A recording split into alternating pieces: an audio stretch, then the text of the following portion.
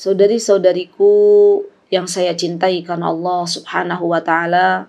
Alhamdulillah pagi hari ini kita diberikan kesempatan untuk belajar kembali tentang bagaimana sudut pandang kita terhadap sakit, Masya Allah. Dan juga bagaimana akhlak kita sebagai seorang muslim ketika menghadapi sakit juga akhlak kita sebagai seorang muslim kepada saudari kita yang lainnya ketika saudari kita sedang diuji dengan sakit. Nasta'inu billah, kita memohon pertolongan kepada Allah Subhanahu wa taala Semoga Allah Subhanahu wa taala akan mengaruniakan kepada kita ilmu yang bermanfaat dan pastinya teman-teman Masya Allah kita tahu ya kita bersyukur kepada Allah sesungguhnya di dalam syariat Islam ya kita nih semuanya alhamdulillah sebagai seorang muslim itu subhanallah setelah diatur oleh Allah Subhanahu wa taala dengan sedemikian rupa Masya Allah, Islam itu sempurna. Tidak ada satu sisi kehidupan pun yang luput dari perhatiannya. Semua permasalahan, ya subhanallah, diterangkan, dijelaskan, dijelaskan di dalam Islam sampai-sampai subhanallah bagaimana seorang muslim dia berakhlak, subhanallah,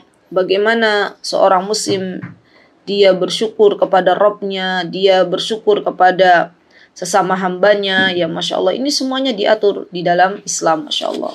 Dan di antara yang perlu kita ketahui, wahai saudariku, bahwasanya ini namanya kehidupan ya itu terkadang kita mendapatkan kenikmatan dari Allah ya. Terkadang kita mendapatkan ujian dari Allah Subhanahu wa taala. Dan di antara ujian yang Allah Subhanahu wa taala berikan kepada seorang hamba Allah Subhanahu wa taala memberikan kepada hamba tersebut ujian cobaan berbentuk dalam keadaan sakit. Ya Masya Allah Masya Allah. Dan subhanallah ketika kita tahu bahwasanya kehidupan dunia ini seperti roda berputar ya Kadang kita sehat, kadang kita sakit ya.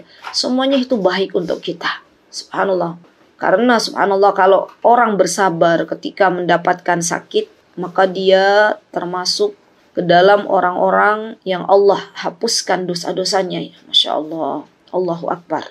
Jadi sebenarnya ya wahai saudariku, penyakit yang Allah berikan kepada kita itu merupakan sebab diampuni diampuninya dosa-dosa kita, kesalahan-kesalahan kita yang pernah kita lakukan. Baik pendengaran kita, kita bermaksiat kepada Allah, baik dengan penglihatan kita, kita bermaksiat kepada Allah, baik dengan lisan kita, kita bermaksiat kepada Allah Subhanahu wa taala. Dan Allah menginginkan kita semuanya terkurangi dosa-dosa kita. Maka Allah berikan rasa sakit itu ya subhanallah.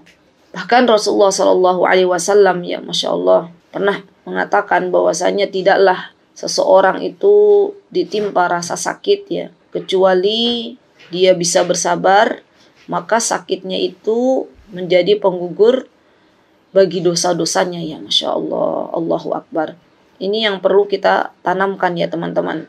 Kemudian setelah kita tahu bahwasanya sakit itu datangnya dari Allah Subhanahu wa taala bahkan subhanallah Rasulullah Shallallahu alaihi wasallam pernah menjenguk menjenguk seseorang yang sedang sakit ya yaitu bernama Ummul Ala. Maka Rasulullah Shallallahu alaihi wasallam memberikan kabar gembira kepada beliau ya subhanallah. Dikala orang-orang yang sakit itu mungkin mengalami rasa sedih mengalami galau ya kegalauan ya masya Allah. Tapi Rasulullah SAW ketika itu beliau mengatakan kepada Ummul Ala abshiri ya Ummul Ala bergembiralah wahai Ummul Ala kata beliau ya fa inna maradul muslim yudhibullahu bihi khotoya karena sakitnya seorang muslim ya subhanallah itu akan menghilangkan darinya khotoya kesalahan-kesalahan. Kama tuzhibun naru khabasa dhahabi wal fiddah sebagaimana api, tahu api ya teman-teman, menghilangkan kotoran dari emas dan perak ya ketika emas dan perak itu ditempa. Ya masya Allah, lihat subhanallah teman-teman. Jadi Rasulullah Shallallahu Alaihi Wasallam itu adalah sosok yang sangat-sangat mulia.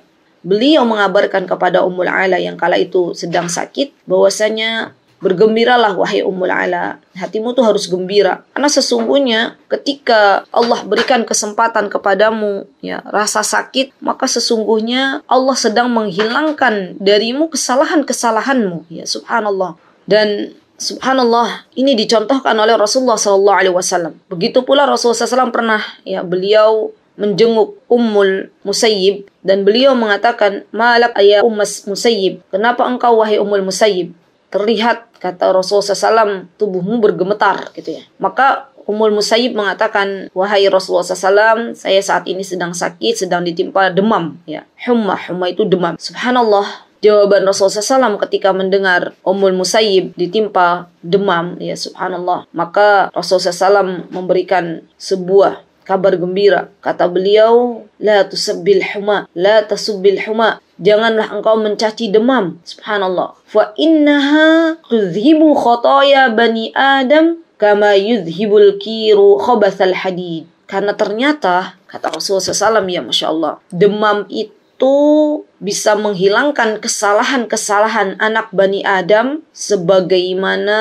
alat peniup api menghilangkan kotoran besi. Lihat teman-teman, Masya Allah, ternyata ya, Masya Allah, penyakit atau sakit yang diderita oleh kaum muslimin ketika dia bersabar menghadapi takdir yang Allah Subhanahu wa taala telah takdirkan kepadanya ya dia tidak mengeluh, dia tidak menghujat, ya Masya Allah. Dia tidak mengatakan kenapa yang terkena, misalnya yang terkena corona dirinya, tapi orang lain tidak. Dia benar-benar ikhlas, dia benar-benar ridho. Subhanallah dengan ketetapan Allah Subhanahu wa Ta'ala, maka sesungguhnya dia mendapatkan kebaikan yang sangat-sangat banyak. Ya Masya Allah, Masya Allah. Jadi, subhanallah, hendaklah kita sebagai orang-orang yang beriman mengetahui bahwasanya hakikat sakit itu adalah sedang disayang oleh Allah Subhanahu wa taala. Ya Masya Allah, Masya Allah. Subhanallah. Bahkan subhanallah orang-orang yang nanti ketika di akhirat melihat sabarnya orang yang terkena musibah di dunia dan Allah berikan ganjaran yang luar biasa nanti di akhirat. Ya ketika diuji oleh Allah diberikan musibah oleh Allah dia bisa bersabar ya masya Allah. Dan Allah berikan tuh pahala sabarnya nanti di akhirat dengan pahala yang sangat-sangat banyak. Maka kata Rasulullah SAW besok di akhirat ahlul afiyah. Ahlul afiyah ini orang-orang yang dia itu diberikan keselamatan oleh Allah Subhanahu wa taala. Ya, jadi jarang diberikan ujian atau musibah, jarang diberikan musibah oleh Allah Subhanahu wa taala, maka besok di akhirat dia memohon meminta kepada Allah Subhanahu wa taala, "Wahai Rabbku, kembalikan aku ke dunia dan kata orang yang ahlul afiyah ini dan biarkan kalaupun misalnya sampai aku tuh pengen mendapatkan pahala seperti fulanah ya yang dia mendapatkan pahala yang sangat luar biasa aku pengen mendapatkan itu walaupun sampai aku harus kata orang ini menggunting-gunting kulitku yang penting dapat pahala yang engkau telah berikan kepada fulana yang telah bersabar ketika di dunia. Subhanallah. Ini artinya teman-teman, subhanallah, seseorang ketika dia bersabar ya masya Allah dengan segala bentuk ujian dengan segala bentuk musibah yang Allah Subhanahu wa taala berikan maka sesungguhnya Allah Subhanahu wa taala akan memberikan kepadanya pahala yang tanpa batas. Masya Allah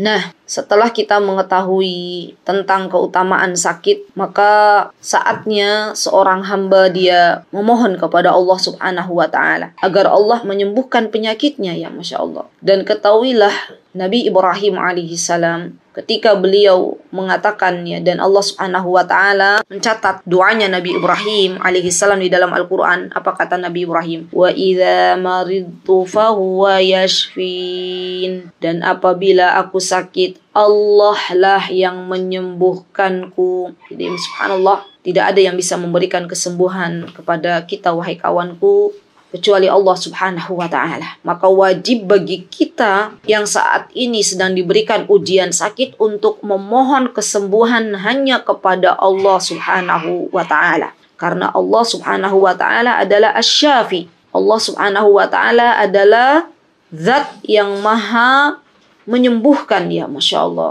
Mintalah kepada Allah subhanahu wa ta'ala. Dengan memohon berdoa kepada Allah subhanahu wa ta'ala. Dan doa yang pernah diajarkan oleh Nabi kita Muhammad sallallahu alaihi wasallam adalah Allahumma rabban nas adhibil ba'sa ishfi anta syafi la shifaan illa shifa'uk shifaan la yughadiru saqma ini doa yang pernah diajarkan oleh Rasulullah SAW ya meminta kesembuhan. Allahumma wahai Rabbku, Rabban nas, Rob manusia adhibil ba'sa hilangkanlah kesusahan washfi antasyafi dan berikanlah kesembuhan karena engkau zat yang maha menyembuhkan la shifaan illa shifa'uk tidak ada kesembuhan kecuali kesembuhan darimu shifaan la yughadiru saqama kesembuhan yang tidak meninggalkan bekas atau tidak meninggalkan penyakit lain. Subhanallah. Ini doa bagus sekali teman-teman ya untuk kita terus baca. Kalau misalnya kita terkena sebuah penyakit, maka hendaklah kita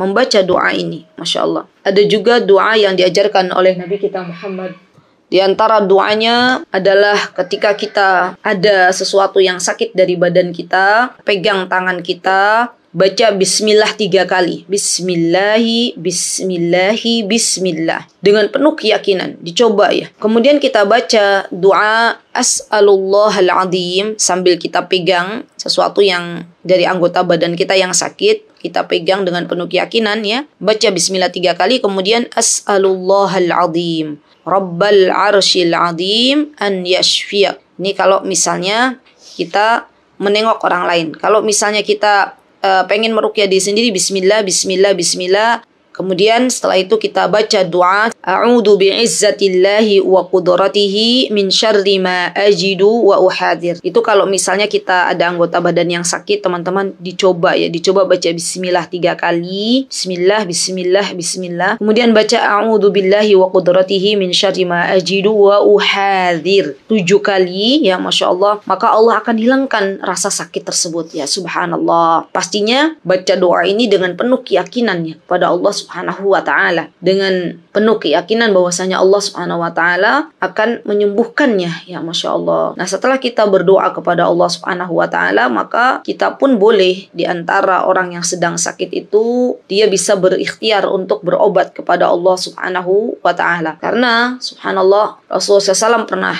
mengatakan bahwasanya likul lidain dawa. Semua penyakit itu ada obatnya. Fa idza usiba dawa udda bara'a biiznillah. Jika sesuai antara penyakit dan obatnya, kalau sesuai nih, maka akan sembuh dengan izin Allah Subhanahu wa taala. Ya Masya Allah. Jadi harus yakin orang-orang yang sakit itu kalau misalnya Allah telah menurunkan obat ya Masya Allah. Kecuali kata Rasulullah tidak ada obatnya kecuali apa? Kecuali al-haram penyakit tua. Penyakit tua tuh nggak ada obatnya. Orang kalau sudah tua nggak bisa muda lagi sudah selesai dan penyakit kematian ya nggak ada nggak ada obatnya. Kematian kalau sudah datang ajal ya pasti pasti akan menemuinya ya masya Allah. Jadi teman-teman ketika seseorang itu dia berobat ya ini merupakan bentuk sedang melaksanakan perintah dari Rasulullah Sallallahu Alaihi Wasallam. Karena Rasulullah SAW mengatakan tadawu ya ibadallah. Ya tadawu ya ibadallah. Berobatlah wahai hamba-hamba Allah ya masya Allah dan subhanallah yang namanya berobat ini tidak menghilangkan kesempurnaan dari tawakal kita kepada Allah Subhanahu wa taala. Karena tawakal itu sebelumnya dia harus mengambil sebab dulu. Ya pastinya sebab yang diperbolehkan secara syar'i maupun kauni, bukan sebab-sebab yang dilarang oleh Rasulullah Shallallahu alaihi wasallam. Ya, Masya Allah. Jadi teman-teman ini hati-hati ya. Kita di zaman penuh fitnah. Ada kalanya seseorang pengen sembuh dari sakit, tapi ternyata ambil sebab sesuatu yang dilarang oleh Allah dan Rasulnya. Pergi ke dukun, pergi ke orang pintar misalnya, ya subhanallah. Padahal yang Rasulullah Shallallahu Alaihi Wasallam inginkan, yang Allah inginkan ya, untuk kita ambil sebab itu adalah sebab-sebab yang Allah dan Rasulnya ridhoi. Ya masya Allah. Dan itu banyak sekali yang bisa kita ambil ya. Di antaranya apa kita bisa misalnya ya subhanallah kita bisa tadi berdoa, bisa minum air zam-zam, bisa uh, berobat kepada ahlinya, kepada dokter misalnya, ya uh, berobat kepada orang-orang yang memang tahu ahli ilmu di dalam penyakit misalnya, itu semuanya bisa kita lakukan ya, masya Allah. Nah setelah kita tahu bahwasanya yang namanya sakitnya itu adalah ujian dari Allah dan kita harus benar-benar menerima semua ketetapan Allah Subhanahu wa taala, maka Selanjutnya ya teman-teman yang perlu kita lakukan adalah apabila kita melihat saudara kita sedang sakit. Maka apa yang seharusnya kita lakukan ya Masya Allah, Masya Allah. seharusnya yang kita lakukan ya teman-teman subhanallah adalah menjenguknya menjenguknya Masya Allah. Dan ini merupakan akhlak yang mulia ketika kita diberikan kesehatan oleh Allah subhanahu wa ta'ala. Maka di antara hak atau di antara kewajiban yang perlu kita tunaikan kepada saudari-saudari kita yang sedang sakit adalah menjenguknya kita tahu bahwasanya hak seorang muslim terhadap muslim lainnya itu teman-teman ada lima. Ya ini dalam hadis lain ada enam ya. Saya sebutkan yang lima. Kata Rasulullah SAW, hakul muslim alal muslim khams. Haknya seorang muslim itu terhadap muslim lainnya ada lima. Di antaranya rodus salam. Kalau ada saudari kita mengucapkan salam kepada kita, kita harus jawab salamnya. Di antara hak saudara kita wa'iyadatul marid, menjenguk ketika saudari kita sedang sakit. Wa'itba'ul janaiz, kita ikuti yang ini bagi laki-laki mengikuti jenazah maksudnya ya ketika ada saudari kita yang sudah meninggal dunia. Wa ijabatud da'wah ketika saudara kita mengundang kita maka kita penuhi undangannya karena itu haknya mereka kewajiban kita. Wa tashmitul atish. Rasulullah wa tashmitul atish. Ini adalah ketika saudara kita bersin ya. Dan saudara kita mengucapkan hamdalah alhamdulillah maka kita mendoakan kembali yarhamukallah. Kalau itu laki-laki yarhamukillah. Kalau yang bersin itu perempuan ya masya Allah dan ini merupakan hak saudara-saudara kita yang perlu kita tunaikan ya Masya Allah. Bahkan subhanallah teman-teman banyak sekali keutamaan-keutamaan yang Rasulullah Shallallahu Alaihi Wasallam sebutkan bagi siapa pun di antara kita yang mau menjenguk saudara kita. Di antara keutamaan yang Rasulullah Shallallahu Alaihi Wasallam perintahkan atau beritahukan kepada kita, fadlu iyadatil marid, ya keutamaan yang akan didapatkan dari orang yang menjenguk orang sakit. Apa kata Rasulullah SAW? Ida ada rojulu akhahul muslim. Subhanallah. Kalau ada seorang muslim mengunjungi saudaranya sesama muslim. Subhanallah. Jadi kita itu menjadi seorang muslim itu harus bersyukur kepada Allah. Ini nikmat yang luar biasa. Masya Allah. Kalau dia mengunjungi saudaranya ya sesama muslim ya ketika saudaranya itu sedang sakit maka kata Rasulullah Shallallahu Alaihi Wasallam masya fi khirafatil jannati hatta yajlis. Lihat teman-teman. Apa yang dikabarkan oleh Rasulullah SAW? Kata Rasulullah SAW, subhanallah, dia itu telah berjalan, ya Masya, masa itu berjalan, untuk memetik buah-buahan surga. Masya Allah, subhanallah. Hatta yajlis. Hingga ia duduk, Masya Allah. Fa idha jalasa, khamarathu rahmah. Kalau dia duduk nih, subhanallah,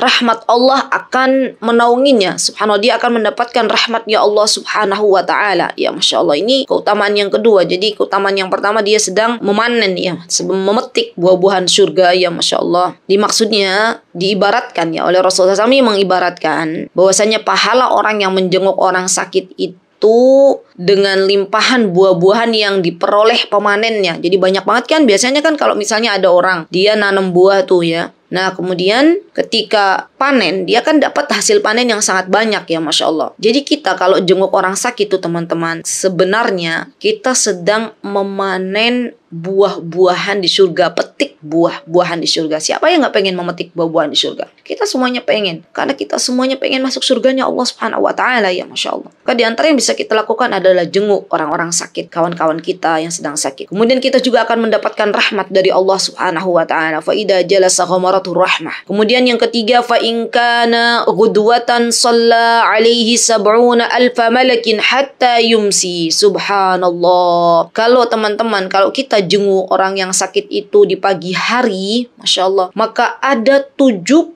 ribu malaikat yang mendoakan kita. Bukan satu, dua, tiga malaikat teman-teman. Tapi ini 70 ribu malaikat. Subhanallah. Memintakan ampunan untuk kita. Allahu Akbar. Hingga datang sore hari. Wa inkana masaan. Ya wa inkana masaan. Kalau kita menjenguk orang sakitnya itu sore. Salla alaihi sab'una alfa malakin hatta yusbih maka subhanallah kita didoakan oleh 70 ribu malaikat Subhanallah teman-teman, siapa yang nggak pengen didoakan oleh malaikat? Saya yakin semua diri kita pengen ya Masya Allah. Siapa yang nggak mau dimintakan ampunan ya atas dosa-dosa kita oleh para malaikat kepada Allah Subhanahu Wa Taala? Semua diri kita pastinya mau ya Masya Allah. Maka ketika ada orang menjenguk di sore hari, dia pun akan didoakan oleh malaikat sebanyak 70 ribu malaikat sampai paginya. Subhanallah. Ini adalah kejadian yang sangat luar biasa ya teman-teman ya Masya Allah. Maka kapan ada kesempatan untuk menjenguk kapan ada kesempatan untuk bisa menengok saudara kita yang sakit maka lakukanlah. Karena sesungguhnya kita mendapatkan keutamaan-keutamaan yang luar biasa. Dan ketika menjenguk orang sakit niatkan ya teman-teman dalam hati kita itu ini menjalankan perintah Nabi kita Muhammad SAW dan itu akan dihitung sebagai pahala ya Masya Allah. Niatkan juga untuk berbuat baik kepada saudara kita dengan menjenguknya ya Masya Allah. Karena yang namanya orang sakit itu subhanallah bila dijenguk oleh saudaranya, ya Masya Allah ini fitrah ya, dia merasa bahagia, dia merasa senang. Dia mengatakan, ya Allah, Alhamdulillah, saudaraku tuh perhatian, ya Masya Allah. Dan itu harapannya akan lebih menguatkan jiwanya, ya kan? Harapannya ketika kita menjenguk nih orang sakit, ya orang sakit itu akan lebih cepat sembuhnya, ya masya Allah. Dan ketika kita idholus surur ya, memberikan, memasukkan kebahagiaan di dalam hati saudara kita, itu kita dapat pahala dari Allah Subhanahu wa Ta'ala, ya masya Allah, masya Allah. Dan tak lupa ya teman-teman, ketika kita menjenguk orang sakit, itu kita mendoakan. Nah, ini nih yang paling penting juga. Jadi bukan hanya membawa uh, apa buah tangan atau buah-buahan misalnya ya, tapi juga kita bawa doa. Ya kita mendoakan doanya. Doanya kata Rasulullah kalau nengok orang sakit labak hurun insya Allah justru sakitmu itu menjadi penghapus dosa-dosamu insya Allah baik kita lanjutkan sedikit lagi. Jadi ketika kita menjenguk orang sakit saudari kita yang sedang sakit itu kita harus sudah siap-siap tuh dari rumah. Kira-kira doa apa ya yang mau saya baca ya. Terus kita ketika berjumpa dengan orang sakitnya minta izin dulu ya. Bolehkah saya merukyah atau mendoakan gitu ya. Nah di antara doa yang diajarkan oleh Rasulullah SAW ketika kita menjenguk orang sakit adalah As'alullahal azim. As'alullah hamba memohon, aku memohon kepada Allah Subhanahu wa taala Al-Azim yang Maha Agung, Rabbal Arsyil Azim. Ya Rabb dari ars yang agung pula karena Allah Subhanahu wa taala adalah Khalik yang menciptakan ars an yashfiyaka kalau yang sakitnya laki-laki. Kalau yang sakitnya perempuan, an yashfiyaki tujuh kali. Agar Allah subhanahu wa ta'ala menyembuhkan dirimu. Nah ini perlu kita baca ya subhanallah. Dan dengan doa tersebut ya Masya Allah kita memohon agar orang yang sakit diberikan kesabaran oleh Allah, diberikan kesembuhan kembali, ya Masya Allah. Dan ini seharusnya doa ini harus kita hafalkan ya teman-teman. ya. Semakin sering menjenguk orang sakit, maka insya Allah kita akan hafal doa doa ini. Baik, baik, Masya Allah. Alhamdulillah sudah selesai untuk doa menjenguk orang sakit dan ini teman-teman di sini ada apabila orang yang sakit itu mengalami putus asa. Jadi kadang ya teman-teman subhanallah ketika Allah Subhanahu wa taala memberikan kepada hambanya tersebut rasa sakit yang luar biasa, maka dia harus benar-benar bersabar dan ketika didatangkan sakit yang luar biasa yang mungkin si sakit itu merasa akan berputus asa, maka biasanya syaitan itu mengganggu, datang mengganggu ya. Rasulullah SAW memberitahukan kepada kita panduan yang luar biasa ketika seorang hamba sudah merasa berputus asa dari penyakit yang dialaminya. Perbanyak doa Allahumma gfirli. Ya Allah ampunilah diriku warhamni. Sayangilah diriku dengan rahmatmu. Wa alhiqni. Dan wahai Rabbku alhiqni. Itu kita memohon pada Allah untuk membawa diri kita birrafiqil a'la. Menuju ar-rafiqul a'la. Maksudnya rafiqul a'la itu adalah Allah subhanahu wa taala. Subhanallah, bahkan ya teman-teman, Rasulullah SAW ja'ala Nabi sallallahu alaihi wasallam inda mautih ketika beliau di detik-detik kematian beliau ya sakarat maut. Beliau itu yudkhilu yadayhi fil ma. La haula wala quwata illa billah. Ternyata kematian itu pasti ada sakaratnya ya subhanallah. Rasulullah SAW saja ketika detik-detik akan Allah ambil ruhnya itu beliau memasukkan tangan beliau ke dalam air. Fayamsahu bihi ma wajhahu. Kemudian beliau usap wajah beliau. Subhanallah. Kemudian beliau mengatakan la ilaha illallah. Inna lil mauti sakarat. Ya subhanallah. Tidak ada ilah yang berhak diibadahi secara benar melainkan Allah. La ilaha illallah. Inna lil mauti sakarat kata Rasulullah SAW. Sungguhnya kematian itu diawali dengan sekarat. Subhanallah teman-teman lihat Rasulullah SAW yang setiap hari beliau beristighfar lebih dari 100 kali. Beliau yang senantiasa mencintai Allah melebihi dari segalanya. Beliau yang ibadahnya beliau itu Masya Allah qiyamul lailnya beliau itu tidak diragukan lagi. Beliau mengatakan innalil mauti sakarat. Sesungguhnya setiap kematian itu diawali dengan sakarat. Subhanallah. Maka teman-teman, Masya Allah, kita hendaklah menyiapkan diri kita masing-masing untuk menghadapi momen di mana momen itu hanya sebentar tapi persiapannya seumur hidup. Kita memohon kepada Allah agar Allah mudahkan sakaratul maut kita ya Masya Allah. Kemudian kita dianjurkan untuk membaca doa La ilaha illallah wallahu akbar. Kalau pas sakitnya sudah luar biasa itu mungkin sudah berputus asa ya. Kita baca La ilaha illallah wallahu akbar. La ilaha illallah wahdahu. La ilaha illallah wahdahu la syarika lah. La ilaha illallah lahul mulku wa lahul hamdu. La ilaha illallah wa la hawla wa wala quwata illa billah. Bagus teman-teman ya doanya. Jadi kita mengatakan tidak ada ilah yang berhak diibadahi secara benar melainkan Allah. Allah yang maha besar, Allah yang berhak untuk diibadahi. Tidak ada sekutu bagi Allah. Ya Masya Allah dan tidak ada kekuatan serta daya upaya kecuali Allah Subhanahu wa taala. Kecuali kekuatan itu datang dari Allah Subhanahu wa taala. Ya Masya Allah. Ini yang seharusnya kita lakukan ya. Ketika misalnya menghadapi saat-saat genting ya. Saat-saat genting merasakan betapa luar biasanya rasa sakit ya. Maka benar-benar berharap kepada Allah benar-benar memohon husnul khatimah ya. Karena subhanallah ketika orang itu ketika misalnya sedang detik-detik mau menghadapi kematian itu setan pun datang ya ingin mengajak orang tersebut ke jalan yang tidak diridhoi oleh Allah Ya, Masya Allah. Dan ini yang perlu kita perhatikan. Minta kepada Allah agar Allah berikan kepada kita akhir kehidupan yang baik. Minta kepada Allah as-sabat, ya ketetapan, ya Masya Allah. Dan semoga Allah Subhanahu Wa Taala menguatkan diri kita semuanya. Sampai kelak di detik-detik terakhir kita di dalam mengarungi kehidupan ini. Allah berikan, Allah mengaruniakan kepada kita husnul khatimah. Amin. Allahumma amin. Baik, itu yang bisa saya sampaikan teman-teman. Jangan lupa juga kita mendoakan saudara-saudara kita yang sedang sakit, yang sedang diuji oleh Allah Allahumma syfi'i mardana wa mardal muslimina jami'an. Semoga Allah Subhanahu wa taala menyembuhkan ya saudara-saudara kita yang sedang sakit, memberikan kesabaran. Semoga sakitnya Allah jadikan sebagai penghapus dosa-dosanya dan semoga Allah Subhanahu wa taala senantiasa memberikan kepada kita kebaikan-kebaikan. Aku قولي هذا واستغفر الله لي ولكم وآخر دعوانا أن الحمد لله رب العالمين. والسلام عليكم ورحمة الله وبركاته.